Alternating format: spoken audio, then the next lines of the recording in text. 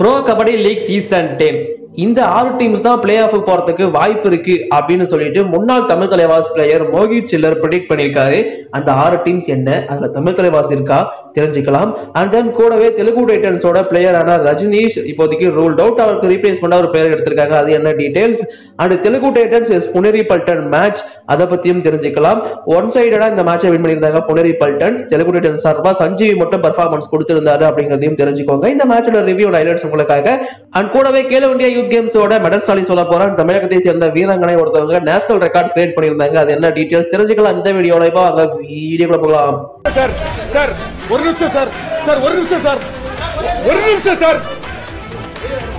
ஒரே ஒரு one நிமிட்டுங்க hello every friends one place so friends Khelo India Youth Games ரெண்டாயிரத்தி இருபத்தி மூணு ஸோ அதற்கான மெடல் ஸ்டாலி சொல்லிடுறேன் முப்பது தேதி முடியும் போது ஸோ மெடல் ஸ்டாலி அப்படின்னு பார்க்கும்போது மகாராஷ்டிரா ஃபர்ஸ்ட் பிளேஸ்ல இருக்காங்க. ஐம்பத்தி மூணு கோல்டு நாற்பத்தி ஆறு சில்வர் ஐம்பத்தி ஒரு பிரான்ஸ் நூத்தி ஐம்பது மெடல்ஸ் டோட்டலா வாங்கியிருக்காங்க. அதே தொடர்ந்து ஹரியானா செகண்ட் பிளேஸுக்கு இப்போதைக்கு முன்னேறிட்டாங்க. தமிழ்நாடு பின்னுக்கு தள்ளிட்டாங்க. ஹரியானாவை பொறுத்த வரைக்கும் முப்பத்தி ஐந்து கோல்டு இருபத்தி ரெண்டு சில்வர் நாற்பத்தி ஆறு பிரான்ஸ் வாங்கியிருக்காங்க. கடைசி ரெண்டு நாள் ஹரியானோட பர்ஃபார்மன்ஸ் நல்லாவே இருந்திருக்கு.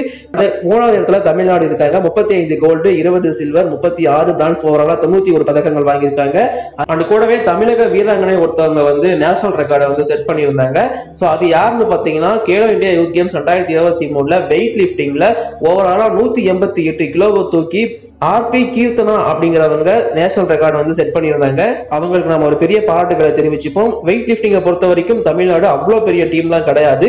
பட் இப்போ இவங்க நேஷனல் ரெக்கார்டு புதுசாக செட் பண்ணியிருக்கிறது அப்படிங்கிறது பார்க்க நல்லா இருக்கு.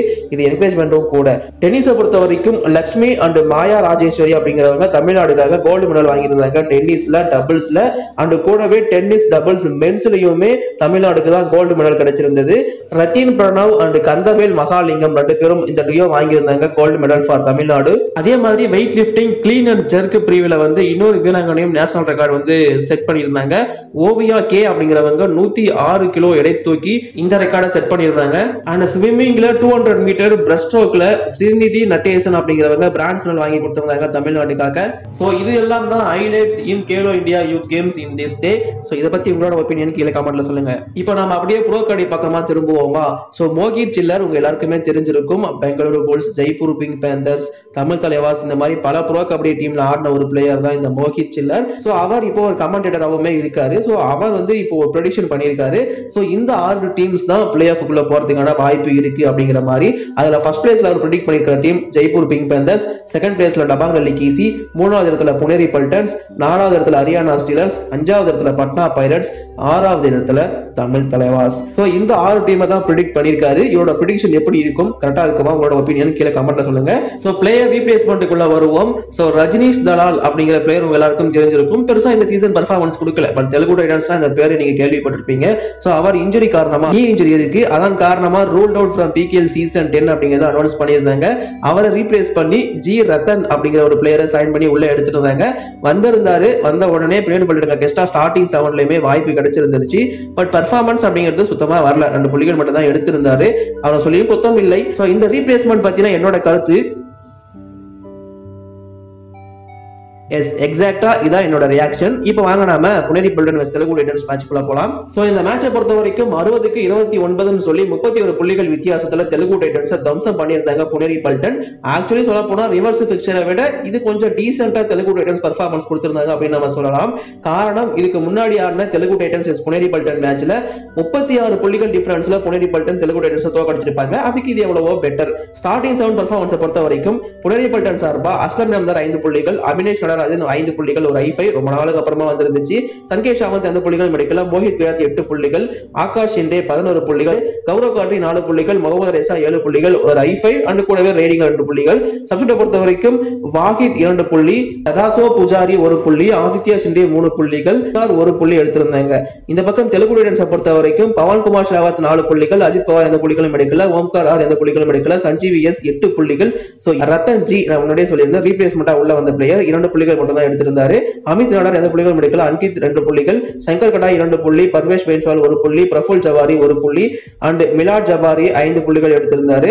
சோ இன்னைக்கு ஓரளவுக்கு நல்ல பர்ஃபார்மன்ஸ் கொடுத்தவங்கல இந்த மிலாட் ஜபாரியும் ஒருத்தர். ஓவராலா இந்த மேட்ச் அப்படிங்கிறது ஃபர்ஸ்ட் அப்படியே முடிஞ்சிருச்சு புனேரி போல்டன் இருபத்தி ஒன்பதுக்கு ஆறு அப்படின்னு சொல்லி இருபத்தி மூணு புள்ளிகள் டிஃபரன்ஸ்ல தான் லீட் எடுத்தாங்க.